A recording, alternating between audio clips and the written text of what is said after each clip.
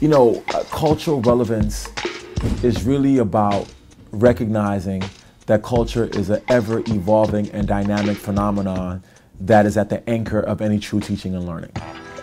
That a school that has all white affluent students needs cultural relevance.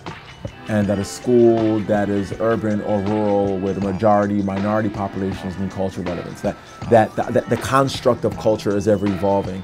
And it's about teachers being able to recognize or tap into the culture that is most prominent in young people's lives.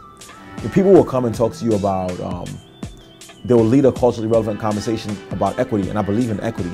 But I think when we talk about the pedagogy, it's about tapping into that shared schema and practices of young people in the that are right in front of you and leveraging that in your curriculum and in your pedagogy. And that's all listening. Now, culturally sustaining is just sustaining that practice. Uh, reality pedagogy is just a bunch of tools to help you to be able to enact that practice.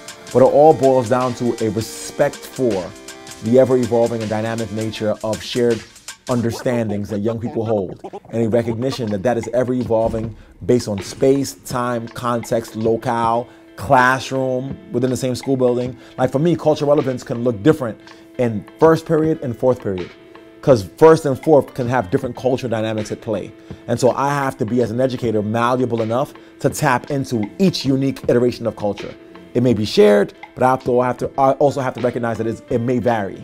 And I have to be dynamic and fluid and malleable enough to align myself to that ever evolving nature of culture.